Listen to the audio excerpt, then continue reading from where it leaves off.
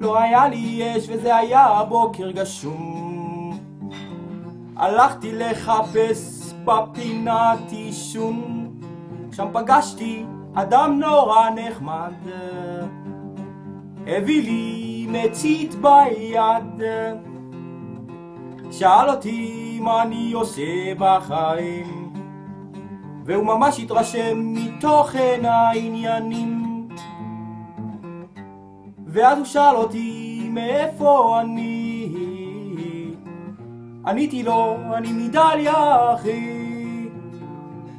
הוא אמר לי אתה דרוזי וזה, ממש לא רואים עליך שאתה כזה. ואז הוא בא לשאול אותי שאלה, אמרתי לו תנוח, אני אשאל במקומך. אתם עדיין מוכרים שמן בבקבוקים? אשתי ממש אהבה את עלי גפן הממוליים. איך קוראים לחג הזה שאתם שוחטים בו כבשים? אתה יכול להביא לי מתכון טוב לזיתים. מציאות עגומה, צריך לשנות תפיסה. בקלאו הזה טעים, אבל זה לא מאפיין את העדה. יש לנו אנשים עם תארים, ואמנים מוכשרים, דוקטורים, פרופסורים, ואנשים משפיעים.